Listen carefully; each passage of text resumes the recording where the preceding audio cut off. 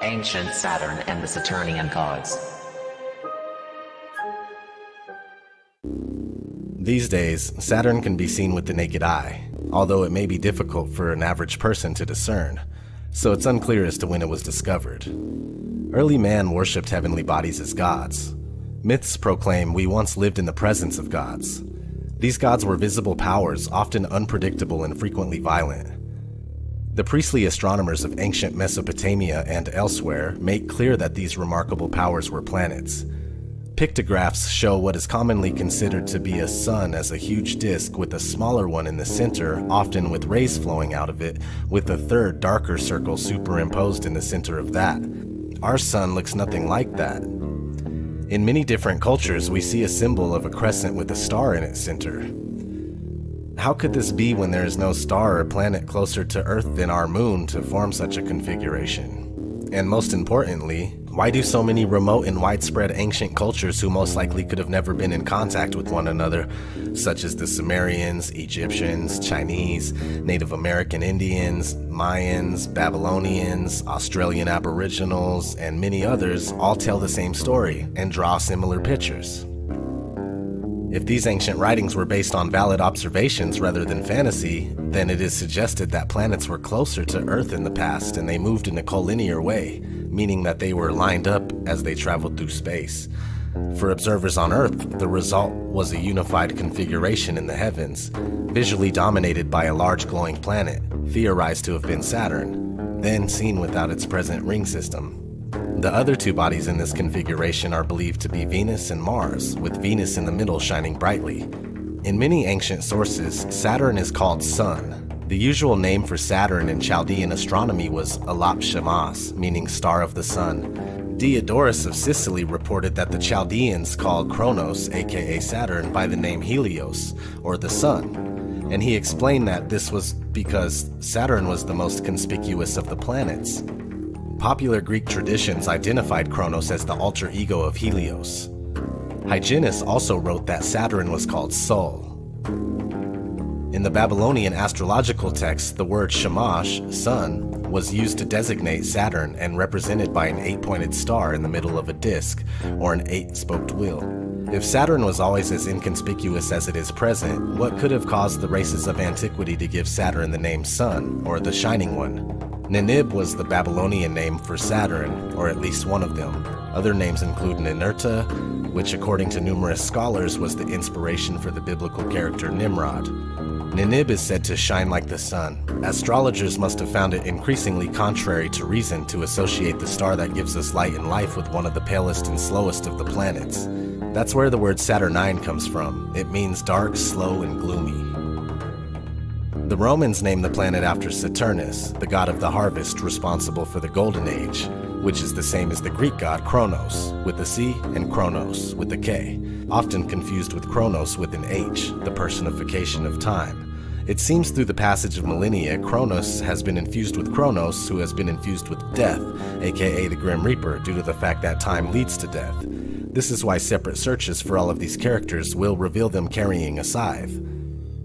The ancient Greeks had two words for time, chronos and kairos. While chronos refers to chronological sequential time, kairos signifies specific opportune moments. Another noted deity that represents time is Aion, though Aion stands for time unabounded, while chronos symbolizes time divided into past, present, and future. God and time have always gone hand in hand. It reminds me of the watchmaker analogy, also known as the argument from design, which states, just as watches are set in motion by watchmakers, after which they operate according to their pre established mechanisms, so also was the world begun by the God as creator, after which it and all its parts have operated according to their pre established natural laws. With these laws perfectly in place, events have unfolded according to the prescribed plan. Sir Isaac Newton argued that the regular motion of the planets made it reasonable to believe in the continued existence of God. Newton also upheld the idea that, like a watchmaker, God was forced to intervene in the universe and tinker with the mechanism from time to time to ensure that it continued operating in good working order. Let's dig a little deeper into the many names of Saturn. Before the Romans and the Greeks, the Phoenicians worshipped the god Elis, or El, who was said to have sacrificed his only begotten son. Upon his death, he was deified as Saturn. Other Phoenician Canaanites worshipped Baal, which is also known as Moloch. Ancient Egypt's version of Cronus was assumed to be the god Geb, but is also identified with Set or Seth. To the Hindus, he was called Shani, or Shani. To the Armenians, Zervan or Zervan. It can get a little confusing and even controversial, especially to certain religious groups that don't realize they are pagans. But you just need to understand that seemingly all cultures and religions share astrotheological stories that result in the same characters under different names, and since their creation have diverged in slightly varied directions. If you look far enough into this, you'll find that Saturn can represent multiple gods within one system of deities, including Christianity. It is said that Saturn is the god of a thousand names, and is no particular deity, but rather a universal spirit for the entire world that encompasses every aspect of our reality. A few other names and associations for Saturn include, but are not limited to, Jupiter, the Centaur, Orion, Osiris, Dionysus, the Winged One, Adonai, Hermes, Prometheus, Poseidon, Zeus, Thor, Serapis, Apollo, Tammuz, Attis, Hercules, Shiva, Dagon, Remphan, Azazel, Noah, Jesus, and Abraham. I did say that it could get a bit confusing, didn't I? For a more in depth study of this chapter, refer to the YouTube channel called Son of Saturn. Link is in the description.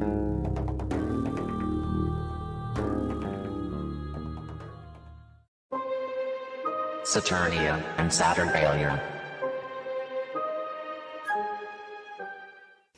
Before Rome was rebuilt in 753 BC, it was known as Saturnia. Saturnia is where the Roman festival Saturnalia took place in honor of the god Saturn. Saturnalia has its origins in an earlier Greek celebration called Chronia, in honor of Kronos. So it is the same thing. The only notable difference was that Chronia was celebrated on the 12th day of Hecatombaeon, which is roughly the end of July, beginning of August, whereas Saturnalia was held at the end of December. The holy day, or holiday, was celebrated with a sacrifice at the Temple of Saturn in the Roman Forum and a public banquet followed by a private gift giving, continual partying, and a carnival atmosphere that overturned Roman social norms. Gambling was permitted, and masters provided table service for their slaves. Saturnalia was a celebration and reflection of the lost golden age, when humans enjoyed the spontaneous bounty of the earth without labor under the rule of Saturn. According to Macrobius, a Latin writer from late antiquity who is the major source for information about this holy day, Saturnalia is a festival of light leading to the winter solstice, with the abundant presence of candles symbolizing the quest for knowledge and truth. Celebrated in the later Roman Empire on December 25th at the Dies Natalis of Sol Invictus, which means the birthday of the unconquerable sun, now celebrated as Christmas.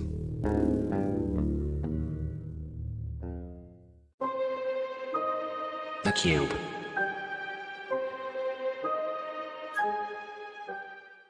The most sacred place in Islam is the Kaaba in Mecca, Saudi Arabia. The Kaaba is a mosque built by Abraham according to Muslim tradition, constructed around a black stone. The Prophet Muhammad designated Mecca as the holy city of Islam and the direction in which all Muslims should offer their prayers. The Kaaba is believed to be the first place that was created on earth. According to my research, once a year, Muslims gather to encircle the Kaaba and walk around it counterclockwise.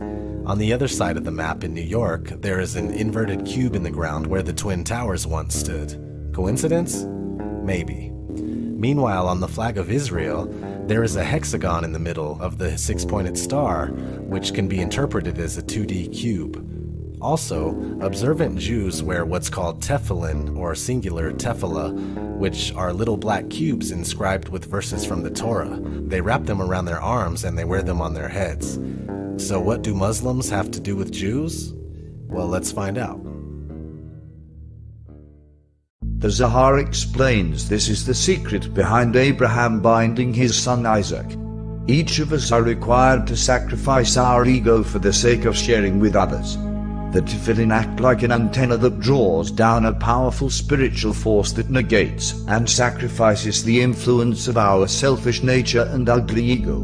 99% of Jews have no clue that this is why we bind tefillin on our left arm. We use the left arm as the left connotes our ego and the negative, Isaac, and the right refers to the soul and the positive, Abraham. Each year, Muslims go on a pilgrimage to walk around the Kaaba in Mecca, counterclockwise, seven times. This is exactly how we wrap and bind our tefillin, counterclockwise, seven times. The purpose of Hajj for Muslims is to connect to the same event of Abraham binding Isaac. Muslims relate this to Abraham binding his son Ishmael. The connection is profound. Only Kabbalah explains the true spiritual purpose. Perhaps this is why the Kaaba in Mecca is known as the House of Allah. Kaaba, and Allah, as we know, spells Kabbalah.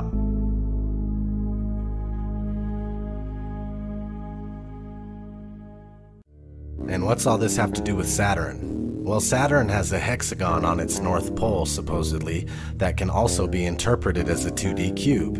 An ancient Sumerian cylinder portrays what appears to be a planet with a six pointed star ring around it, possibly Saturn. I would also buy that it's a shining sun, bringing us back to the theory that either Saturn was once the sun or another name for the sun. Another connection lies within the name Israel itself. Many scholars, and I mean many, have concluded that Israel is compounded from the names Isis, Ra, and El. You can go against the etymology all you'd like, but this is pretty obvious. So the hexagon, the cube, and Saturn make sense, but I'll admit it's semi reasonable to be skeptical. People have also connected the black cube worship with a few other black cubes scattered about the world. There is a Glass Cube Apple store in New York. Apple's logo is already highly symbolic, uh, stands for forbidden knowledge, so the cube is definitely questionable. In the prayer room at the United Nations, there is a black stone. I already know that the UN is crazy, so this is also questionable. They probably sacrifice babies on it. Something eerily similar was shown in the Miley Cyrus video with Big Sean. Here's yet another cube connection with the depiction of New Jerusalem mentioned in Revelations 21:16. Let's look at some relevant books that I found with mentions of cubes. The Shape of God. The infinite cube is a concept without any practical value other than a way to visualize the infinite by limiting it. Infinity is a term that is hard to pin down. Time and space can be called infinite, but you still can't pin down just exactly where infinity is. God, the Absolute is said to be an infinite cube. There is no place in which God is not present in the infinite cube. The cube unites the tetrahedron and contains it. The cube may be tiled with tetrahedrons. Tetrahedrons may be tiled, infinitely, to infinity, no problemo. Cubes may also be tiled to infinity. The concept of the infinite cube is what is behind the shape of the Holy of Holies and the Kaaba.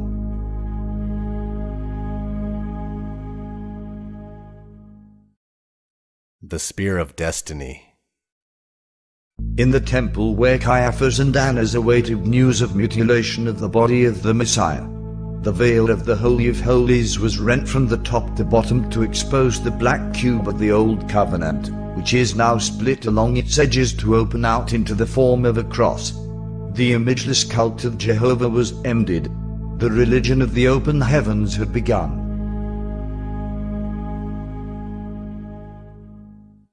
And my favorite find, new dimensions for the cube of space. Check this out. The cube is also a special geometrical shape for the sacred temples of many religions. The cube as the temple appears in the West in the three major religions of Judaism, Christianity, and Islam. In Judaism, the temple that King Solomon built to honor Yahweh had for its inner sanctum the shape of a perfect cube. The temple itself was rectangular and was divided into an outer and an inner court by a folding partition that served as a door between the outer and the inner. This partition divided the temple in such a way that the inner court became a perfect cube with a dimension of 30 feet. At the exact center of this inner cube lay the Holy of Holies, a double cube lying on its side, 4 feet long, 2 feet wide, and 2 feet high. Within the Holy of Holies were the two tablets of the law and a miniature perfect cube inscribed with the name of God, Yahweh. The cubic temple itself is symbolic of the cube of space in all its dimensions, while the Holy of Holies at its center symbolizes the Hebrew letter Tau and the tarot card the world, which is both the temple that stands at the center of the universe and the exact center of the cube of space. Masonic lodges also obey this symbolism. They are oblong in shape, with the northernmost part of the lodge extending beyond the other three walls.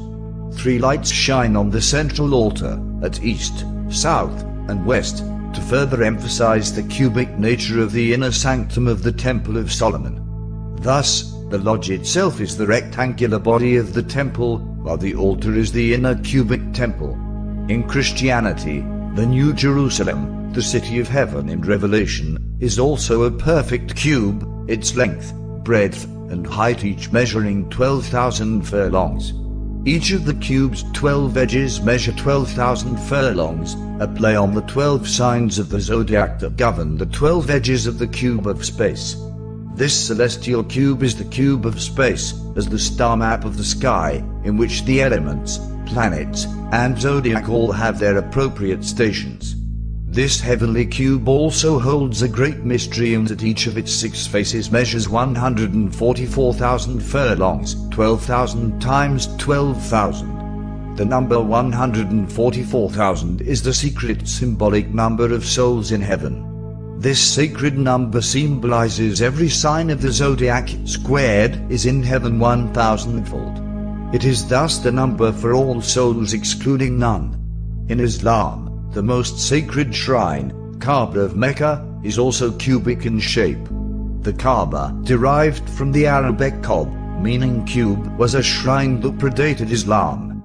It was a granite-like cube-shaped shrine, originally surrounded by 360 pagan idols, marking the old measure of the year as 360 rather than 365 days. Muhammad eventually destroyed these 360 idols. The Kaaba is aligned so that each corner marks a cardinal direction. Embedded in its eastern corner is the sacred stone known as the Black Stone, which acts like the cornerstone of a Masonic structure.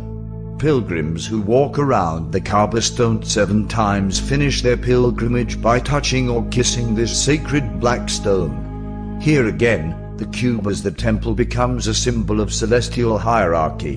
In this instance, the Kaaba is the central sun, while the wandering pilgrims are the planets who orbit around the sun.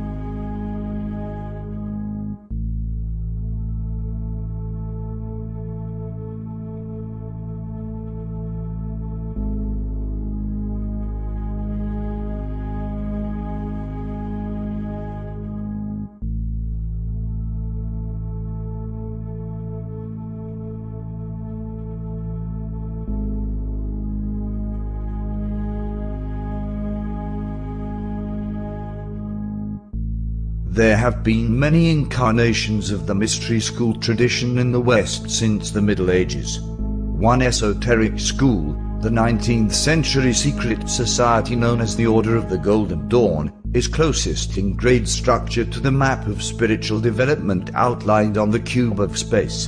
In order to understand the initiatory grades of the Golden Dawn, we first need to understand their predecessors. The spiritual lineage for the Golden Dawn is shown briefly in the following timeline alchemy, Hermeticism, Freemasonry, Rosicrucianism, Theosophy, and finally the Golden Dawn.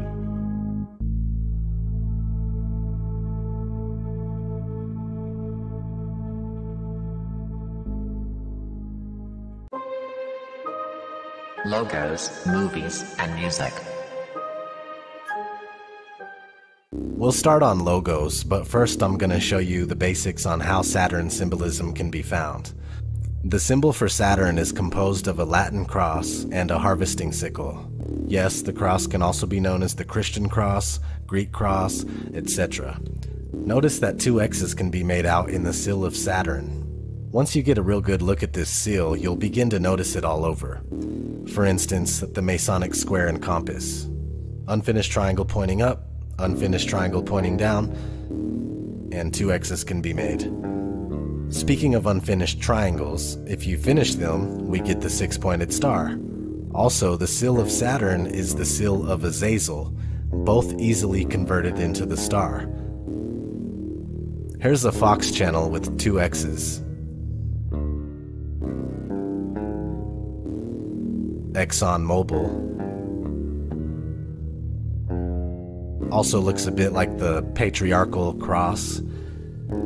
The Kabbalah Tree of Life has within it the six pointed star and the double X. Nissan, simple Saturn logo. Saturn cars. Here's an interesting one. We take Toyota, which semi looks like Saturn, but for those with eyes to see, we can also make out an owl. If you've done your research, it's simple to find that owls are one of the animals governed by Saturn. Here we go. I made a video about cigarettes and the occult where I pointed out these traffic cigarettes as double X, but at the time, the in your face Saturn eluded me. All you have to do is turn the box. We have DirecTV. This is the kind of simple Saturn symbol that I don't really point out. If you look up Saturn corporate logos, you'll find a video where somebody shows every logo that they could possibly find that has swooshes and half rings like Whirlpool, Burger King, Pepsi. Um, I mean, it's, it's trying to explain that. Look at that, dude. That's Saturn, and maybe it is, and yeah, it's pro- it probably is to be honest. But the thing is, is pointing that stuff out is kind of like for beginners, they're gonna be like, uh, I don't think so, dude. You're fucking tripping. So anyway. Sometimes it's just put out there, like Sega Saturn. Looks a lot like the Orphic Egg, also known as the Cosmic Egg, World Egg, and Mundane Egg. It's in many ancient creation myths. Here's an ad for Sega Saturn. Head for Saturn. This one is my favorite. It's my personal belief that the elite do this to toy with people. They will zone in on names to use for specific causes. This is how I see this ad. Up on the top left hand corner, it says Ice Cube on Saturn. All I see is Cube on Saturn. In his hand is the console, looking like a cube. I believe in coincidences, I've just never seen one. So now we have the GameCube. You can immediately connect this with the star of Saturn. You can also immediately connect this to the G that's in the middle of the Masonic square and compass, and here's what Wiki says about the G. Varies from jurisdiction to jurisdiction, but widely accepted as God or the Great Architect. Here's something I found in a recent book called The Grand Illusion. The G in the emblem of the Freemasons represents the Grand Architect, and if you relate this to God, or Saturn, for example, who is depicted with a white beard as Father Time, or Death, in the same manner as Jesus, and all the other Saturn, sun gods, it is therefore appropriate that the grand architect in the Matrix movies had a white beard. He also sat in a circular room with televisions that monitored the lives of every individual in the same way God is omnipresent, or how Santa, the man with the white beard, associated with the Celtic god Odin, can see you when you're sleeping, or how he knows when you're awake. Anyway, Gateway Computers, they got the cow cube, and that's like kind of hints at a bull. Hmm. And finally, here's a website called blackcube.com. Their front page says a select group of elite intelligence community veterans that specializes in tailored solutions to complex business litigation challenges. Again, hmm. Go check that out. That's a crazy website. Now let's run through some movies. A few of the following images were found on this website, hollywoodsubliminals.wordpress.com. We have this Tesseract Infinity Stone, aka Cosmic Cube, Space Cube, and so on. It's in a few of the Marvel Cinematic Universe movies Captain America, The Avengers, Thor, and also mentioned in The Guardians of the Galaxy, Iron Man 2, and S.H.I.E.L.D., the TV series. This website has way more references than I'm going to show you, but they pretty much mention any movie with a hexagon in it as well. A couple examples would be this Spider Man and Cabin in the Woods. Got the honeycomb, you know, 2D cube, whatever. You know, everybody can make what they want from it at this point. point and you're not, you know, but it could be a reference to the cube. There's only so many shapes, and people are going to use them, knowingly and unknowingly. Moving on. This is one of my favorites, the Allspark from Transformers. Let's listen to a little bit of the intro to the first Transformers movie. The things Optimus is saying are relevant. Before time began, there was the cube. We know not where it comes from, only that it holds the power to create worlds and fill them with life. That is how our race was born. For a time we lived in harmony, but like all great power, some wanted it for good, others for evil. Here's an Argus cube from the movie Super 8. There's a bunch of them and they're parts of spacecrafts that assemble together, kind of like programmable matter. It's also interesting that the movie is called Super 8, being that 8 is relative to infinity, which is relative to Ouroboros, which is relative to Saturn. We'll get into that in a little bit. Here's Lemarchand's box, aka the Lament configuration, which acts as a door, or a key to a door that leads to a hellish plane of existence where demon like creatures reside. An ongoing debate in the film series is whether the realm accessed by the Lament configuration is intended to be the Abrahamic version of hell or a dimension of endless pain and suffering that's original to the Hellraiser films. We have the data cube from the movie Prometheus, honorable mention. Any Star Trek geeks in the house? Star Trek The Next Generation! Good, well, then you'll remember the Borg and some of their ships being cubes. Borg are a collection of species turned into cybernetic organisms that function as a hive mind called the Collective. Here's a Borg ship passing by Saturn. Interesting enough, Saturn is called Sol 6 in Star Trek, meaning Sun 6 or Sixth Sun. Here's my other favorite besides Transformers Sauron from Lord of the Rings. Not only is Sauron strikingly similar to Saturn in name, but the title Lord of the Rings gives it away. Sauron is a giant eye, and supposedly the South Pole of Saturn resembles a giant eye. Looks like the CBS logo as well. And finally, fantasy and sci fi movies have their own award ceremonies called the Saturn Awards. Teen Wolf from Masonic Television won one.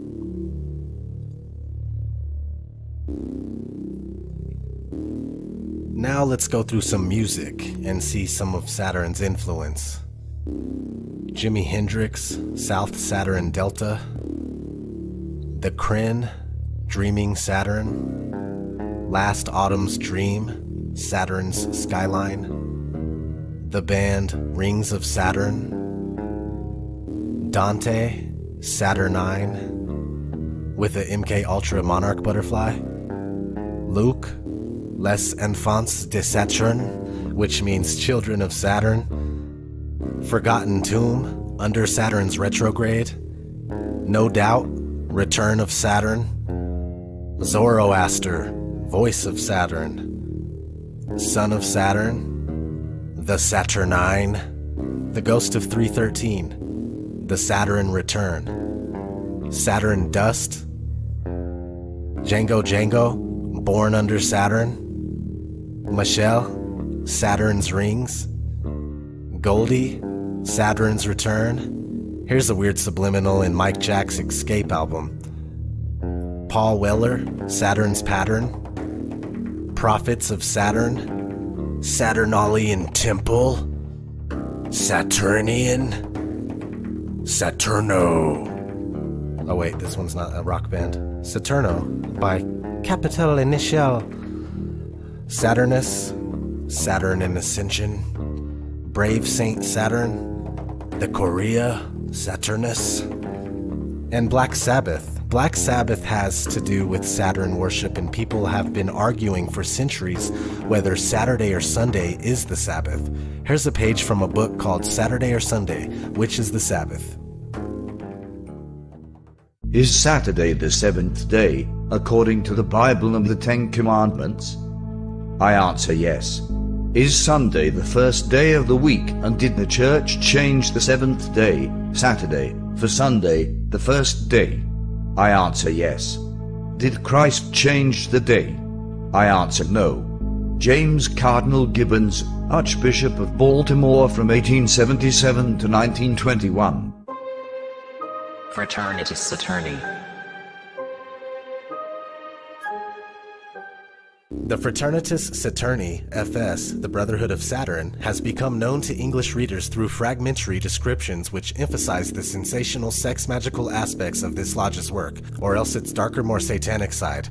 This is understandable in the light of the fact that the FS is, or was, the most unabashedly Luciferian organization in the modern Western occult revival, and its practice of sexual occultism perhaps the most elaborately detailed of any such lodge. The FS represents a unique blend of astrological cosmology, neo Gnostic demonology, sexual occultism, and Freemasonic organizational principles. This grand synthesis was originally the vision of one man, the longtime Grand Master of the FS, Gregor A. Gregorius. Now let us look at some other material that I gathered on the Brotherhood of Saturn.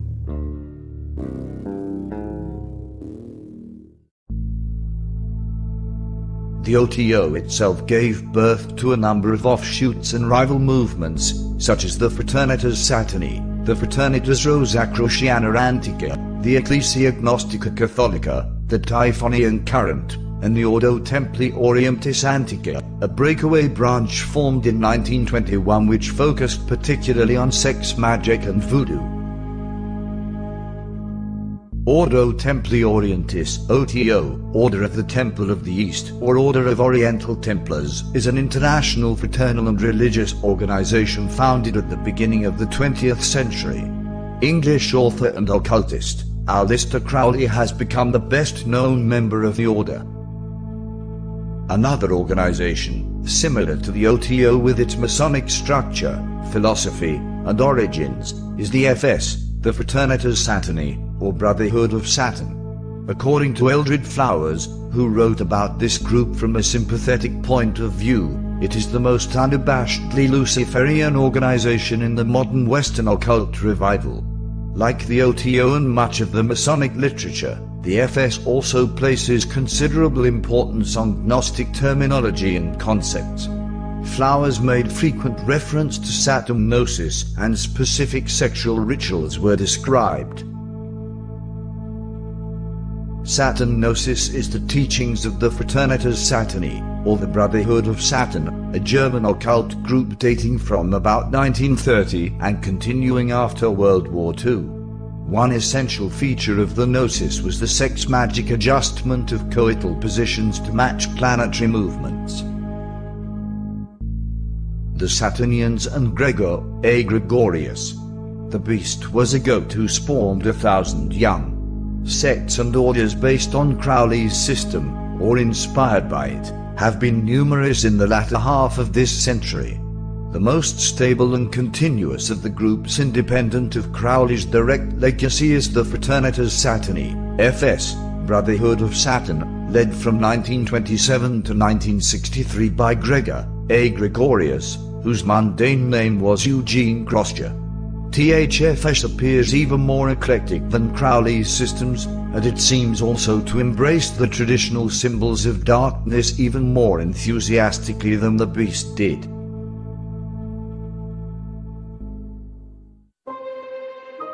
Saturn and Ouroboros.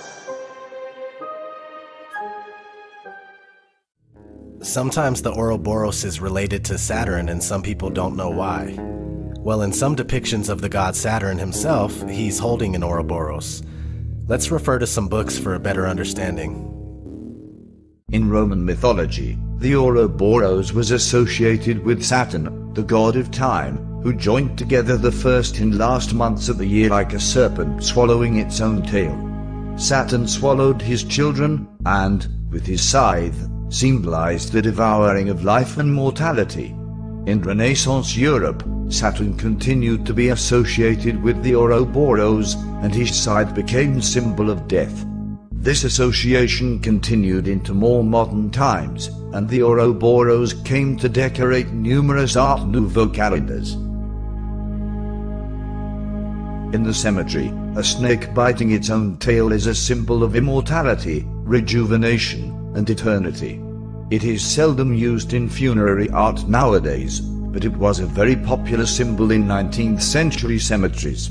Images of the Ouroboros can be found in the art of ancient Egypt, where it symbolized the daily cycle of the sun, China, where it was among the myriad yin and yang symbols, the Roman Empire, where it was associated with Saturn, the god of time, as well as in European and American funerary art.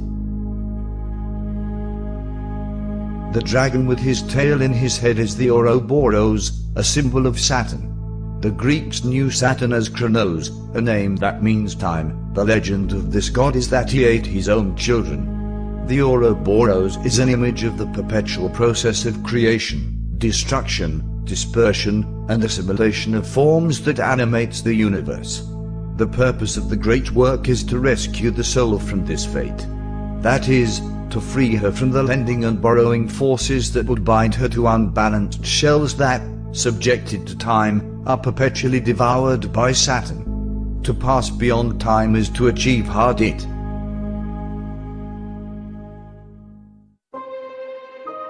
Saturn and Satan.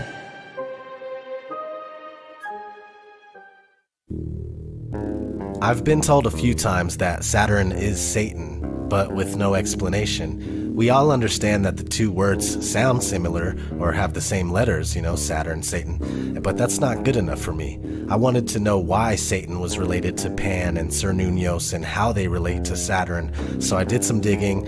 Here's what I came up with. Marduk was the Roman god Kronos, whose name means the horned one. Artists often depicted Nimrod wearing a crown of bull horns. Kronos was also the Roman god Saturn, who devoured his own sons as soon as they were born. Eusebius recorded the Phoenicians every year sacrificed their beloved and only begotten children to Cronos or Saturn, and the Rhodesians often did the same. Saturn also serves man in the role of Satan, the tempter. When the vibrations of Saturn Satan combine with an egocentric personality, people often trade their souls for material possessions and temporal powers. In this respect, Saturn is symbolic of the structure of values which lead to evolutionary growth. Thus, Saturn is the bridge between the forces of universal consciousness. Sometimes, Saturn is referred to as Rex Mundi, the king or prince of the world.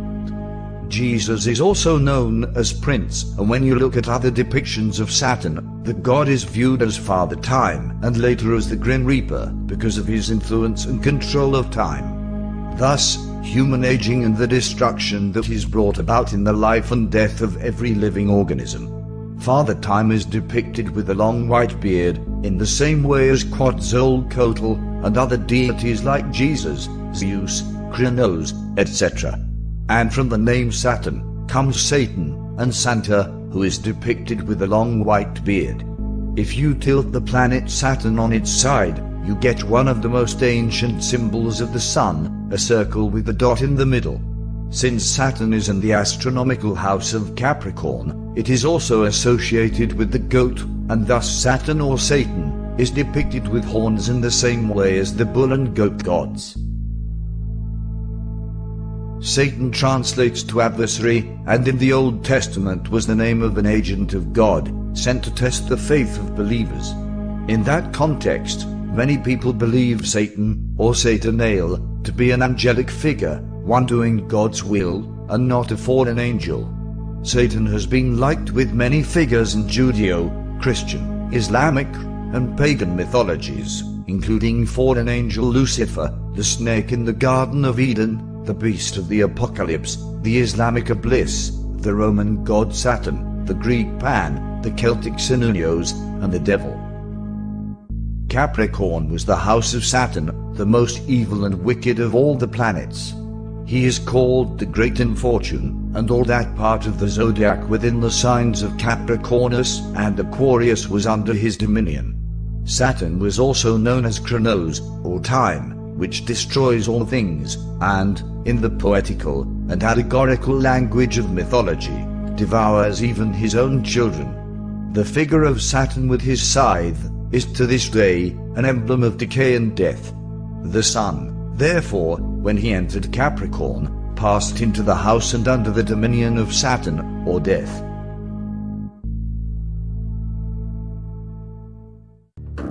There's also a book called Saturn A New Look at an Old Devil. That's worth checking out. And supposedly, Saturn has a moon called Pan, and another called Ceres that looks just like the Death Star. And I did say supposedly. Saturn, CERN, and time travel. So we've connected Saturn to Cernunnos, and it seems that CERN is a wink to Cernunnos. Saturn being the god of time, it would make sense if the people behind it are indeed occult minded, which seems the case. In CERN's logo, we can spot three sixes. On TV, we're seeing CERN like machines with the capability of time travel. Anyone who has ever done the proper research would understand that Hollywood and mass media is but a branch of social engineering that often uses predictive programming. So, what is CERN up to? It's mostly speculation, and I've yet to research it enough to really know. But with a machine or machines that big, the chances of a huge event that affects our reality go up a little bit. For more videos on the subject of CERN and time travel, check out Truth Media Revolution. As I mentioned in Chapter 1, Son of Saturn has Saturn videos packed with information. I had to watch all of his videos twice or more, but it was worth it. Thank you, Son of Saturn. And thanks everybody else for bearing with me. This was uh, three weeks in the making. This was honest research from a non religious and unbiased observer. I'm not pushing an agenda, and I'm not a shill or satanic just because you may not agree with my research. I'll leave you with one last fun fact. In palm reading, the middle finger represents Saturn.